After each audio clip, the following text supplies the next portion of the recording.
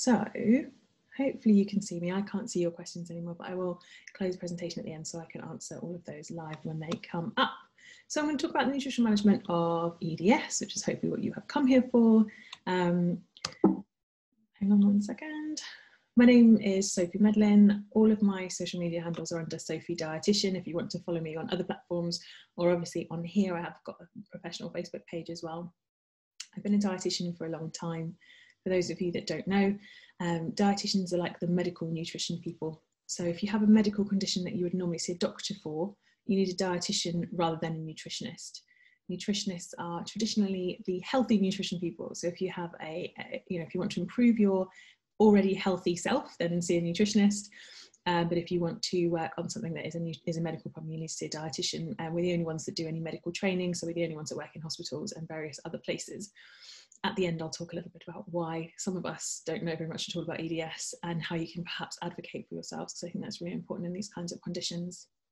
Um, I, within my career, worked in the NHS for uh, about seven or eight years, I think, um, and I specialise in the management of complex colorectal disorders, so bowel disorders, um, and of course, lots of my patients have uh, motility disorders, so including EDS, um, because obviously it affects our, our, bowel motility and how we can function in that way. Um, I then went on to lecture, so I was a lecturer and researcher at Plymouth University and then most recently at King's College in London.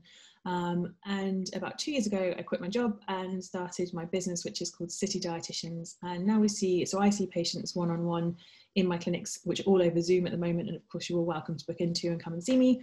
Um, I also work for companies, so I work in product development and work with um, all kinds of different companies doing all kinds of different things um, in the nutrition space. And I also do some work in the media. So today, for example, I haven't had any patients today, but I normally would. So yesterday I was on clinical day seeing patients over Zoom in my house now, which is such a strange experience for me, having had a whole career of people face to face. But today I've been on a farm all day filming for ITV West Country about uh, the uh, impending kind of changes to our agriculture bill, which are all happening. If you want to see me being licked by a cow, you can look at that on my Instagram page. Um, and then just after that, I, did, I came home and went straight into a, a uh, panel discussion at the end of a conference about product development. And now, obviously, I'm very happy to be here talking to you um, about more clinical things and bowel things. So it was so great to receive your feedback on what you would like to hear about. That was really, really helpful. And I will confess that I can't fulfill all of your uh, desires. So unfortunately, we don't have time to cover both fatigue management and the bowel stuff, the motility stuff. So I'm just going to focus on the bowel things this evening. We can certainly do another session on fatigue management another time. I'd be very happy to come back and cover that for you in a different session. So I'm going to talk about what the nutritional problems are that are caused by EDS, what management strategies we have available. Again, I'm going to talk a bit about self-advocacy. Um, as you will all probably be aware, there are very few medical professionals who have a keen interest and understanding of EDS, and that does have a massive impact on your ability to get help when you need it. But it's really important to me that you leave this session feeling empowered and able to get help and able to go to doctors wherever you need to go to and say, This is what I need and this is the help that I have and here's where the doctor can go so here's where you can go to get more information about that so you understand that I'm, I'm telling the truth and this is what I need. Um, at the end, I've got your questions all gathered up um, and also your feedback from the survey, which was super helpful. And again, at the end, what I'll do is I'll close the presentation so I can see your questions on Facebook and we can scroll through those and find any other ones that come up. So please do interact in that way, that would be brilliant. So in terms of the gastrointestinal manifestations of EDS, when we talk about gastrointestinal, for those of you who have no medical education, which is probably most of you, gastrointestinal refers to both our upper GI tract, so from our mouth to the bottom of our stomach, and then everything from our small bowel all the way through to our colon and even the rectum, so the very last part of our bowel. I'm a bowel specialist dietitian, so I'm very happy and comfortable talking about poo and about bowels and about rectums, and about colons. I appreciate that might be a little bit odd for some of you, but I'm very comfortable with it. So um, if I'm a bit flippant about it, I apologise in advance. Um, the problem, of course, with connective tissue disorders, and EDS isn't on its own in this category, but connective tissue disorders have an impact on all of the connective tissue in our bodies. So it's not just our joints, but also the connective tissue that helps move things through our gut. So we have rings of cartilage, we have bits of bowel that are held up by special webbing, we have um, very important muscles that help to move things through our gut. Um, and the structure of our gut is really held together by connective tissue in the same way the rest of our body is. And, for that reason, EDS very much impacts our gastrointestinal tract and the ability our bowel has to move things through, to maintain its structure and integrity, and for us, therefore, to be able to absorb and enjoy food in, in, a, in a normal way, in a healthy way. Common problems with EDS include hernias, and that's because the structure of the abdominal wall isn't as sound as it might be in someone without EDS. And you can maybe see from this picture what's happening with a hernia. I think there's generally a sort of poor understanding about what hernias are and what happens. What happens is where there's any kind of gap or weakness in the abdominal wall, a small amount of small bowel, so a couple of loops of small bowel can poke through there. And what then happens, as you can see from this diagram, is that, that there's a narrowing, there's a tightening of the small bowel, which can sometimes stop food from moving through it properly, or poo essentially from moving through it properly. So things can get a bit trapped. And that's when it can become a strangulated hernia and the blood supply can cut off. For a lot of people with hernias, what happens is intermittently through the day, the food gets a bit stuck they get really, really bloated and uncomfortable, and then suddenly it all rushes through, and then things get a bit, well, and then maybe they need to rush to the loo and things like that. So that's a really common thing that happens for people with EDS. Hernias can occur anywhere in the body. So sometimes you might have heard of a hiatus hernia, where a bit of a portion of your stomach height comes up above your diaphragm, and that can cause a lot of problems with reflux and that sort of thing. You can get a hernia near your tummy button, so an umbilical hernia, uh, lots of men get them further down in their groin, so femoral hernia we would call them. If you've ever had any bowel surgery, it's very common to have them around an incision, so an incisional hernia. But they really can happen anywhere on the body, particularly in patients with EDS. And a hernia, again, is just a protrusion of bowel through the abdominal wall. Another really common problem that I deal with a lot in my clinics is prolapses. Uh, and again, this is to do with the structure of the bowel just not being as integral as it normally would be. So that it's just not very strong in the way that we'd like it to be. And that can mean that passages like the rectum can prolapse down and come out of the bottom. And as you can see from this diagram here, that again creates this narrowing in the rectum that stops poo from being able to trans be taken out of the body and into the toilet, which causes all kinds of really uncomfortable problems. And it may feel like it's constipation, and you may be treated for constipation, but it may well be that there's either an internal or external prolapse, which is stopping and blocking the poo from being able to come out properly. There are lots of things in terms of dietary intervention we can do to make that better. Um, and it's really important that you get some help with that if you think that might be happening to you. Intussusception is a similar problem to a prolapse, but it's more like an internal prolapse. So what's happening in an intussusception is that the bowel is sort of folded in on itself. And again, it's about the, the lack of integrity of the, of the muscles of the connective tissue that keeps the bowel in shape. So what's happening is when there's pressure, the bowel is folding in on itself, as you can see from this diagram. Um, and again, this causes this narrowing in the bowel. This diagram, this picture here, is showing intussusception of the small bowel into the colon. So this would occur on the right hand side of your abdomen, low down if you were having this problem, and you would feel it and experience it in different places, and, and, and you would notice the symptoms being in different places depending on where this problem was in your gut. I've seen this in people's small bowels, in their jejunum, in their stomach, in lots of different parts of their bowel, and it's, it's certainly not an uncommon problem, particularly in conditions like EDS. The way that you would experience this in terms of symptoms is similar to the other conditions where, where the other problems we've talked about, where food when we eat it if it's if there is an intussusception the bolus of food so the bits of food that are trying to travel through your bowel get stuck in that narrowing and can't go through. And very often that will result in um, maybe some vomiting maybe a period of distension where your bowel or your tummy blows up like a balloon and then eventually it might release and let itself through. And in extreme cases it might cause perforation and problems like that Again, there are dietary treatments we can use to try and prevent this from happening, and certainly to help us to try and find out if it's happening and whereabouts in the gut it's happening so that we can try and support you to get some treatment. Motility, as you all will know, oh well, motility refers to the transport of food or, or poo through your bowel from your mouth into your bottom, through to your bottom. And gastrointestinal motility is a problem for lots of people with EDS. And that, as you will probably know, and I'm sure you do know, causes delayed gastric emptying. So your, your stomach itself stays full for too long, doesn't empty, food can build up in there. That can cause vomiting, a lot of pain, discomfort. Food is sitting in the stomach for too long, um, and that then inevitably leads to poor appetite and poor nutritional intake, um, which is a completely normal consequence of delayed gastric emptying. Constipation, again, is a really, really common problem, and that's because when when poo enters the large bowel, so the colon in this picture, the larger bit that wraps around the edge of the bowel, um, we need it to move the poo along like this with concentric movements. We call it peristalsis.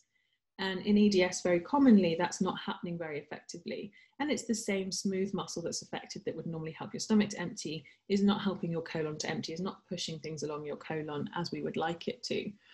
Um, that can lead to a sort of constipation that's actually um, much, much more difficult to treat than other types of constipation, certainly not impossible, but is a challenge and for some people, really laxatives uh, are not that helpful. And we can talk a little bit more about that in a minute.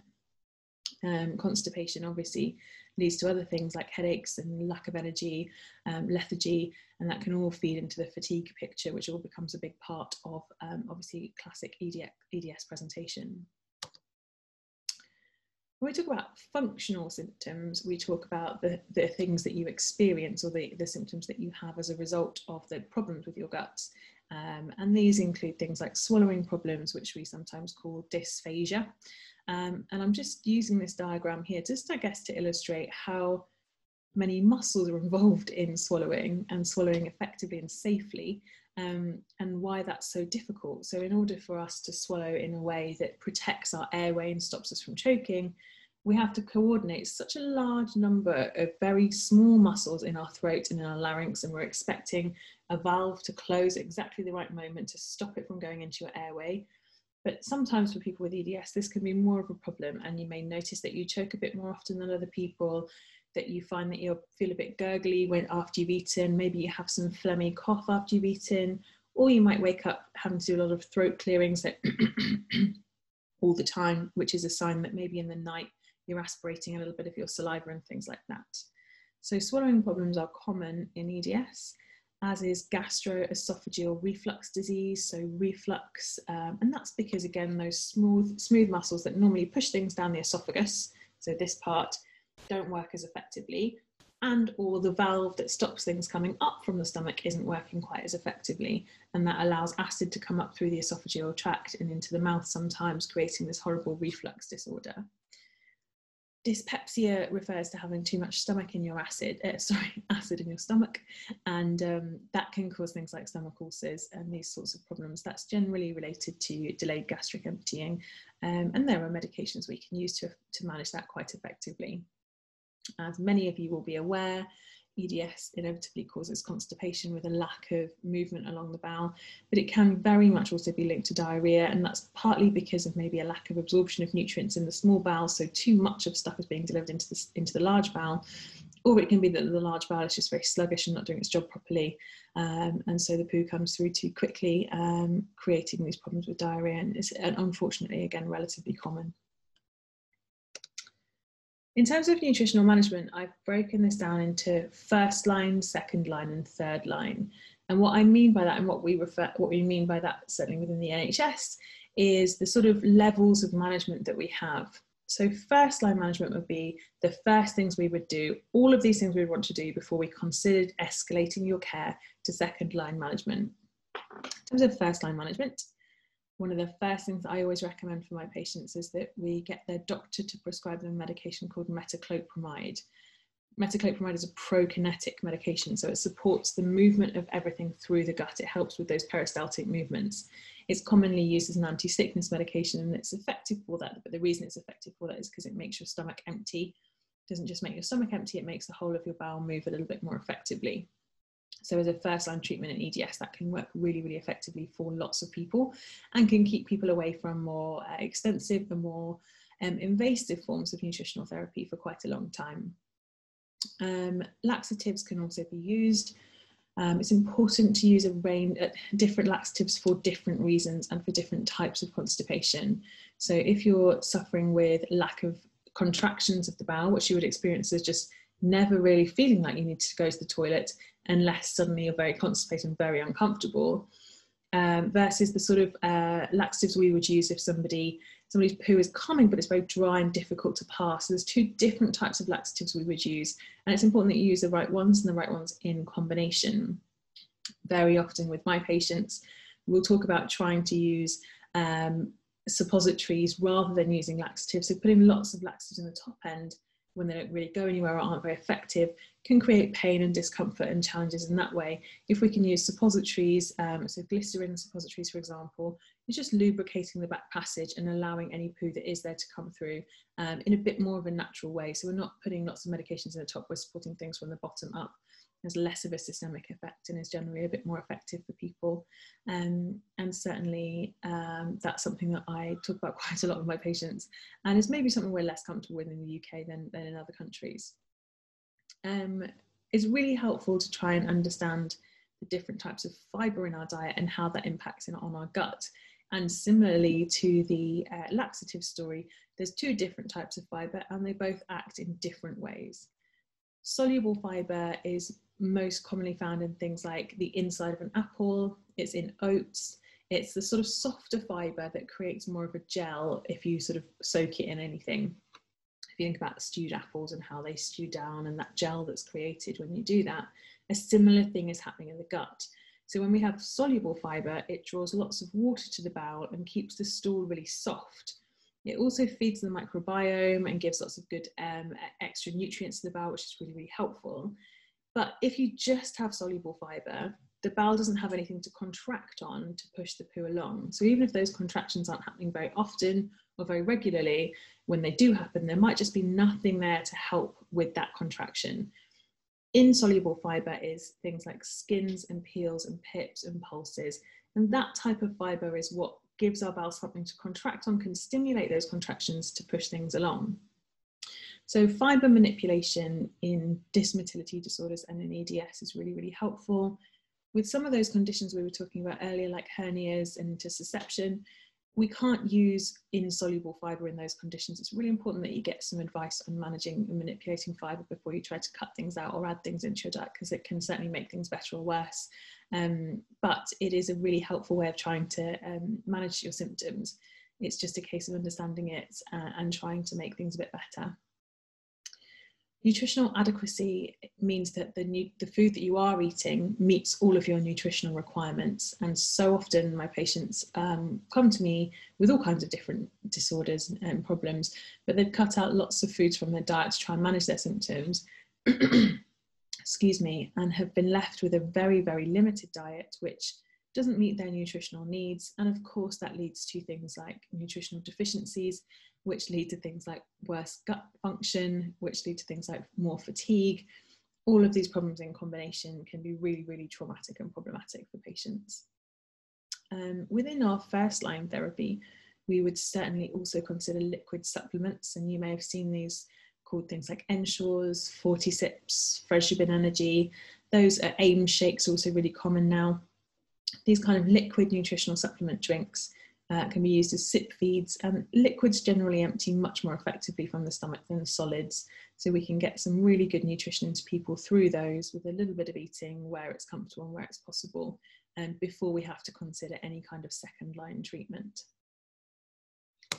Second line treatment being the next level up um, would be things like surgical intervention so um, if you have really terrible problems with colonic motility, so where poo's just not moving along your colon and you get very impacted and very uncomfortable, um, and it's taking you days and days to be able to get your bowels open, we can do interventions with similar tubes like the ones on the right hand side here, like feeding tubes into your bowel that you can use to wash out the colon and allow some more um, liquid into there, which can then keep keep a bit more motility but we could also consider shortening the colon so that there's less uh, uh, room for things to have to move along. You can also think about having a, a colostomy bag, which I'm aware some people in the group may have already for emergency reasons. They can also be used very effectively for managing motility problems. Um, so that's perhaps something to talk about another day. Colostomies, I know, can be for some people a really, really scary prospect. But if it's that or never having your bowels open, you know, most people would feel much, much better with a colostomy bag um, than in that situation. I know that often those are seen as a terminal thing, like the last thing you ever want, but I work heavily with the stoma population. And there are some, so people who have colostomies and ileostomies, which come from the small bowel. And, um, you know, their stories and their advocacy for the community is really, really amazing. And we find that actually people have a much, much better quality of life um, if they've had really bad conditions when they have a stoma than when they didn't have one. Um, we could also obviously consider tube feeding. So when patients have had enough of having to drink liquid supplement drinks all the time, or that's not working very effectively anymore, we can pop a tube uh, that goes into your tummy and then we would extend it through to your small bowel. That's sometimes called PEG J. So we feed it into your jejunum, which is the first part of your small bowel.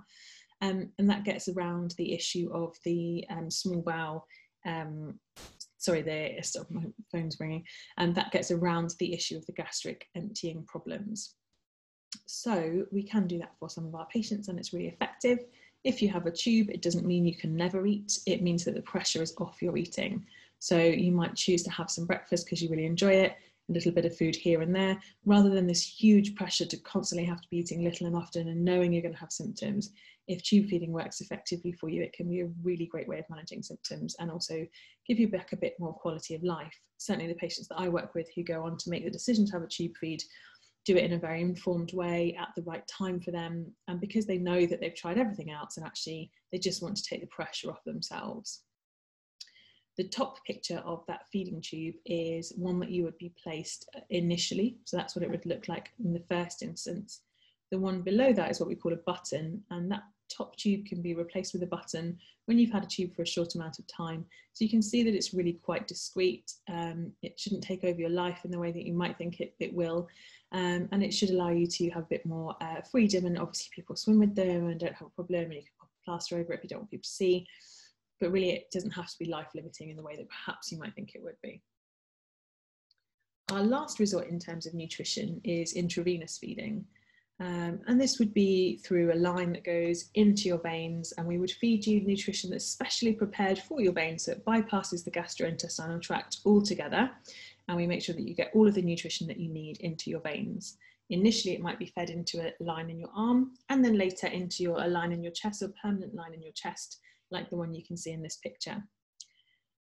We often call this kind of parenteral nutrition, we call it a parenteral, not using the enteral tract, which refers to the GI tract. We often call it total parenteral nutrition. And in a lot of ways, that's quite misleading because patients, particularly patients with EDS, can obviously still eat if they want to. It doesn't have to be their only source of nutrition. It's very helpful sometimes to be able to top up your nutrition two or three days a week so that you've got some good nutrition going in and you're not getting nutritionally deficient in anything and that you're feeling well. We can top up your fluids, but then the food that you eat is mainly for joy and for pleasure rather than it being for nutrition and you having to force yourself to eat when it's uncomfortable and, and you're struggling with that all the time. So that's intravenous feeding, which again, I'd like you all to remember is the last resort for all of these kinds of things. And the reason for that is because there's quite high risk of infection, it's quite invasive in your body, and it's not a natural or physiological way to get nutrients into your body. Where it's used appropriately, where it's used and it's necessary, it's a very, very effective treatment. And it can obviously take the pressure off if you are struggling to eat enough or your GI tract is failing. But it would be a last resort, and patients would make that decision alongside a, broad MDT, so multidisciplinary team who would help them to come to that decision that actually that was the best course of treatment for them. I'm going to mention about self-advocacy. I think it's so important for you. Um, EDS, poorly recognised, poorly understood condition, meaning that self-advocacy, standing up for yourself, telling your doctor what you need, saying this is my condition, this is the help that I need, is required. And I, you know, I mean, unfortunately, when I say it in that uh, in that sentence, I'm going to put a link to this underneath the um, presentation on the Facebook group. But this is uh, from the Royal College of GPs, and this is freely available on their website. So if you go to your GP and they say, I don't know anything about it, please direct them to this information. Um, you can send a link to the practice so they can try and read up a little bit more about it. But on this website, um, it's, there's a really handy toolkit. There's the video, which is really, really helpful. And you can see that there's all different things here, including key points, when to suspect EDS, when do we think it's going to be, diagnosing it in primary care, um, thinking about who to refer people to, medications, treatments, all the things that your GP could be trying, um, before you have to go down any other kind of route. And I, you know, I really do understand that actually understanding is really, really poor um, amongst all healthcare professionals. It's certainly not just GPs, but I know they're sort of at the front line of these kinds of things. Um, yes, I was just going to say also, um, you know, there's not necessarily good understanding amongst anybody in terms of EDS, so we do have to be aware of that.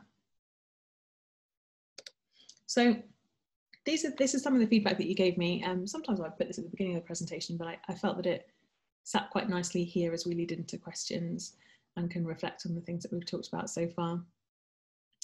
Um, one of the mistakes I made when putting this survey together was obviously not having a no on this question because the vast majority of you said that no, you've never had any dietary help for your condition.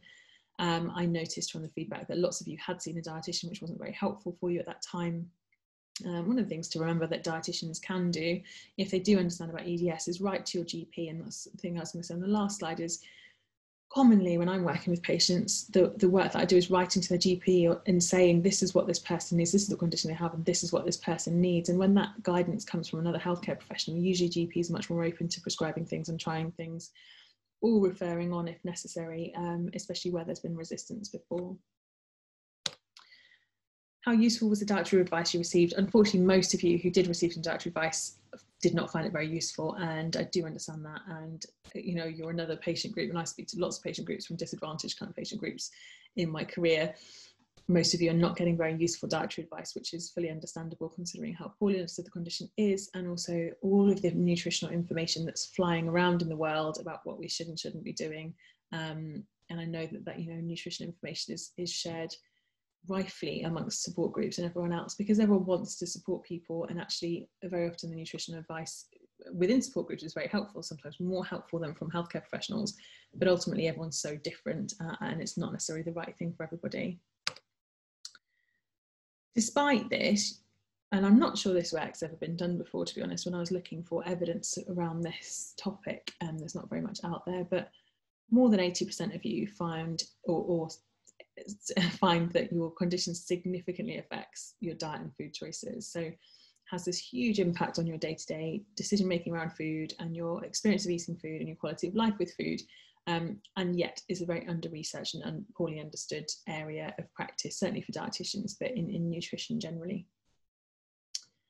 i'm going to move on to answer some of the questions that came up on the presentation um, this will probably take another 10 minutes or so and then I will jump out and, and, so that we can see the questions that have come up on the Facebook group. Hopefully there have been some of you chatting and asking some questions. I can't currently see them, but I will um, have a look at them shortly. So the first one on here, maybe you can't read it because it might be quite small, is what are the different types of gut motility this person's aware of gastroparesis, but are there names for dysmotility elsewhere in the digestive system? We would call all of the different types of motility GI motility problems or dysmotility. Um, we might say colonic dysmotility if we were referring specifically to the colon, but certainly um, all the different types of gut motility, all, all the gut motility throughout your gut can be affected by EDS, um, and it commonly is um, and we would just refer to the different parts of the GI tract as being as having dysmotility. So small bowel dysmotility is just as common as gastric dysmotility. What tests should we re request from our GP to get baseline nutrient nutrition levels that could be affecting us negatively? So the best ones to ask for are iron studies, vitamin B12, and then I usually ask for zinc and selenium when I'm writing to GPs. That gives us a pretty clear picture of what's likely to be being absorbed and not absorbed in the GI tract. So again, that's iron studies, vitamin B12, zinc and selenium. Um, someone is saying, I find fasting and homemade kefir has significantly helped my digestive issues. I don't take any medication now. Do you have more information about this? What are your thoughts of, on keto and reduced inflammation? So um, yeah, I mean, your the bacteria that live in your colon are significantly affected by the food that you eat and also by having probiotic drinks and things like that. So kefir can be really helpful for some people. It's certainly not the answer for everybody. Um, and I think we sometimes get into sort of a bit of a trap of thinking, well, this works for me, so this is going to work for everybody.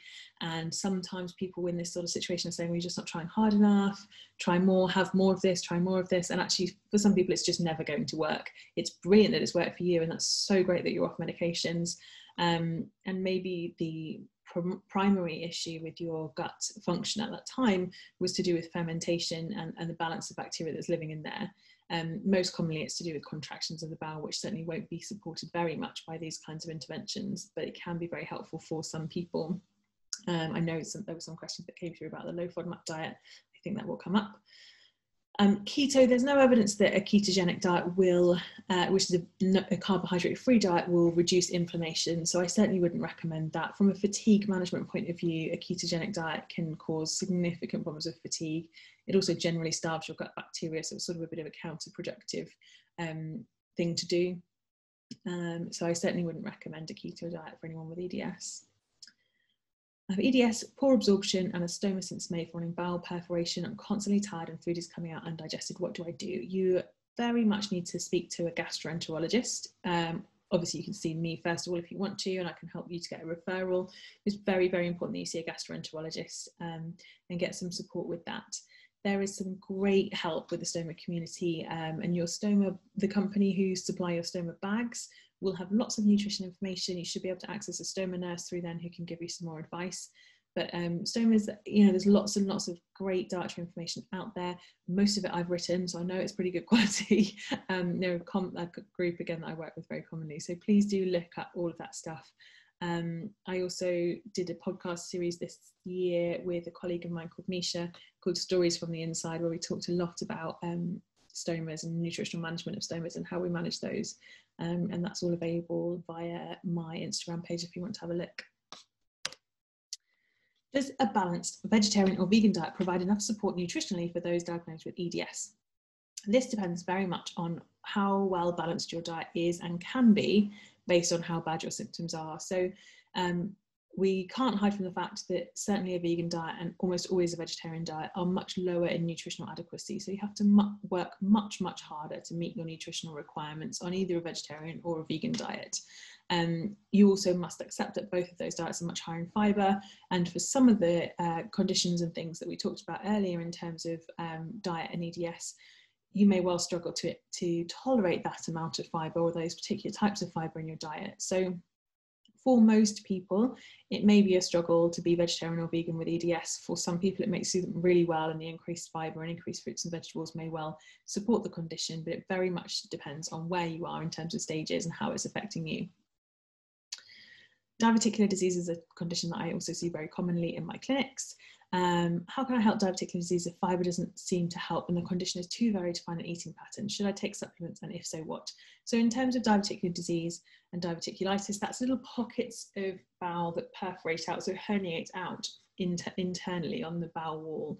Um, and little bits of poo and food can collect in those and go rotten and that can then create inflammation and sepsis we call it so blood problem blood poisoning basically um, it's a it's a complex condition to manage. It depends on what stage of diverticulitis you're at and where it's affecting you and all these kinds of things.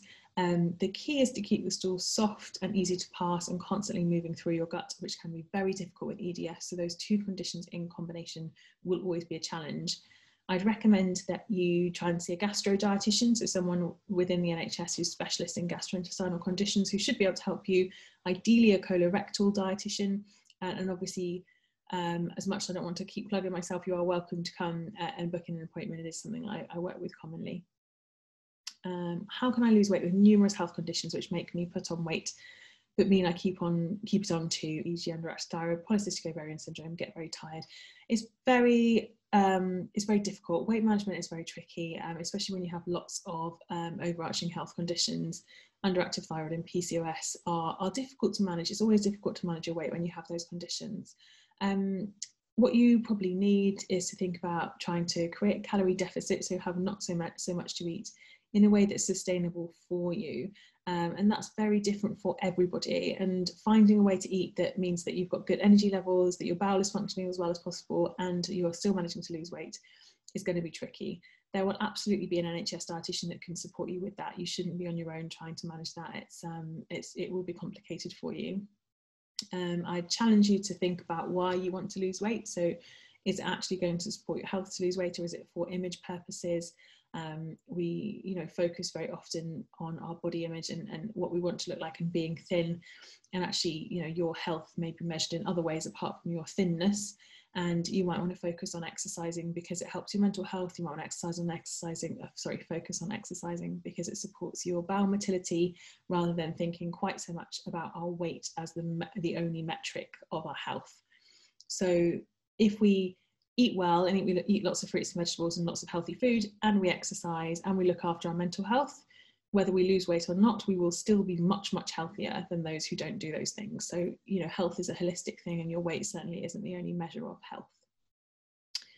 I have numerous issues, but the embarrassment comes from continual diarrhea, blood loss, recurring hemorrhoids. I would love some tips on how to cope with this. Yeah, really, really tricky. Um, the key will be to increase your soluble fibre. So the inside of an apple, melon, soft, soft fibres that draw lots of water to the bowel, keep the stool really, really soft. Avoid scratchy types of fibre, so nuts, skins, peels, those sorts of things that can cause abrasive problems on the inside of the bowel wall. Um, but the soluble fibre can help to provide some level of bulk to the stool.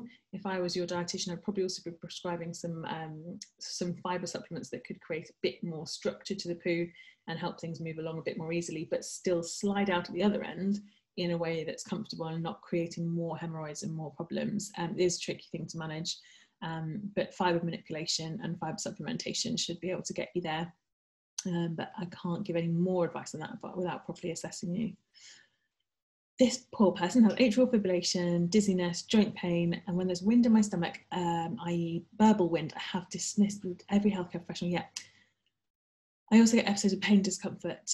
Um, I have atrial fibrillation when there's wind. Yeah, I suspect I do know what's happening here. I think what's happening is you're having a problem where your your stomach's perhaps a little bit delayed in emptying, and then when it suddenly empties, you're getting a big big dose of carbohydrates into your small bowel, which is then raising your blood sugars really quickly and then dropping them down really quickly. And we call this dumping syndrome. Please read about dumping syndrome and see if you think that fits in with your pattern, because I suspect that's what's happening here sorry to call it dumping syndrome is just what it's called. It's not very glamorous but that's the name of it and it refers to the dumping of nutrients from your stomach into your small bowel. Probiotics slowly start to relieve. That's good. Happens every couple of weeks. Yeah dumping syndrome can be really really debilitating and it really drops your blood pressure very quickly which is what you're experiencing i think and can lead to huge fatigue. Um, and it doesn't surprise me that you have problems with joint pain around that time as well because it's probably just feeding into all the other symptoms that you have so, got two more, and then we'll have a look on what's going on on Facebook. So, gastroparesis self-help when managing food allergies intolerance. Um, receiving ONS, so oral so SIP feeds on prescription, how to use them more creatively. I've got Aymes on prescription, struggle to meet my daily target. Um, dietitian says help some recipes. Yeah, okay, so um, there are some really good recipe books on the Aymes website. Um, I will, if you message me on Facebook, then I'll send you a link to those very happy to help you look for recipes on those. There's those resources are definitely available, and I'm sorry that you weren't directed to them directly by your dietitian in the NHS.